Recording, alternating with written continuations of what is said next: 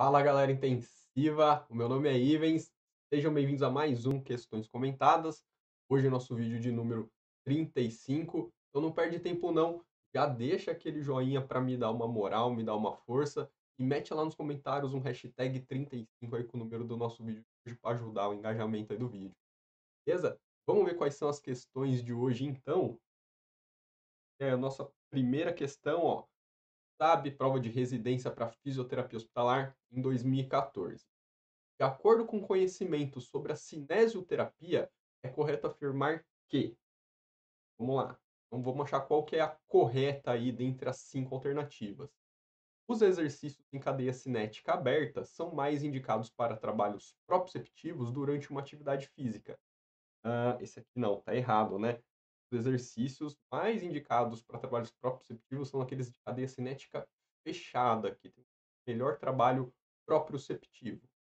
B. A mobilidade passiva depende da extensibilidade dos moles, enquanto a mobilidade ativa requer ativação muscular. Tá certo, né? Mobilidade passiva depende da extensibilidade, né, flexibilidade dos moles, enquanto a mobilidade ativa requer ativação muscular o ato de pentear o cabelo, eu não realizo muito comumente, é um exemplo de atividade funcional em que usamos isoladamente variações do contração, não a combinação delas. Não, isso aqui está errado, né? O ato de pentear o cabelo, um ato complexo onde você precisa segurar aqui uma contração isométrica, você precisa fazer aquele movimento de vai e vem, né? Vai ter aí vários tipos de ações envolvidas aí então nesse ato. A flexibilidade é a capacidade de um músculo se estirar, produzindo tensão e envolvendo força, potência e resistência muscular. Uh, não, né? Porque a flexibilidade não vai envolver todos esses mecanismos, né? Envolvendo força, potência, resistência muscular. Não.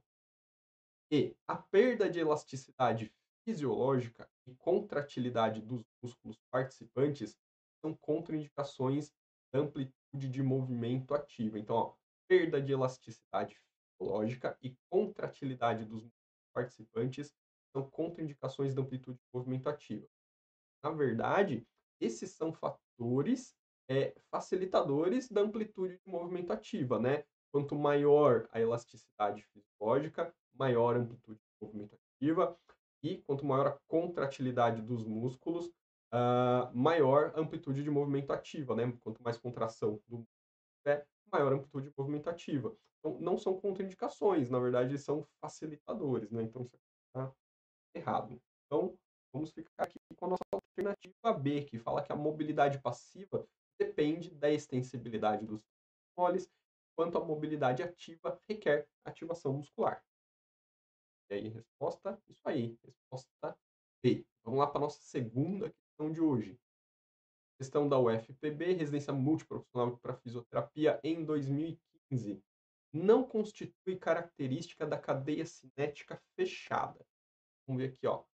Alternativas, ele quer saber qual não se refere à cadeia cinética fechada. Então, ó, vamos de baixo para cima agora, hein? E melhor estabilidade dinâmica, certo, né? Cadeia cinética fechada dá maior estabilidade.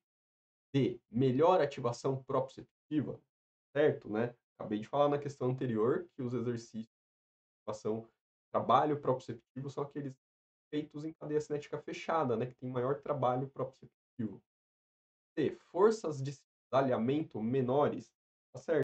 cadeia cinética fechada tem menor força de cisalhamento. B, diminuição das forças compressivas, aí não, tá errado. Cadeia cinética fechada, onde você tem que sustentar peso, tem mais forças compressivas quando a gente compara com uma cadeia cinética aberta, onde não tem que se sustentar peso. E há menores acelerações, tá certo? Porque geralmente os exercícios de cadeia cinética fechada estão associados a contrações de músculo agonista e antagonista, e isso gera menor aceleração. Então vamos ficar aqui com a alternativa B. Não constitui ca característica da cadeia cinética fechada, diminuição das forças compressivas. Nossa alternativa correta aí, letra B, né? diminuição de força compressiva não é uma característica da cadeia cinética fechada. Cadeia cinética fechada, a gente tem aumento das forças compressivas. Beleza, galera? Então, ó, já deixa aquele joinha antes de você sair do vídeo. Não esquece me dar essa força. Inscreve no canal se você ainda não é inscrito. Indica para os amigos aí também se inscrever no canal. Ativa o sininho para receber as notificações de todos os vídeos que saem aí durante a semana. Deixa o seu comentário, já deixa aquele hashtag 30 aí só para aumentar o engajamento, mas também pode deixar sua dúvida, o seu comentário a respeito aí da resolução. Você quer me indicar alguma prova para aparecer aqui, alguma questão, fica à vontade, tá bom? E eu vejo você no próximo vídeo. Até lá!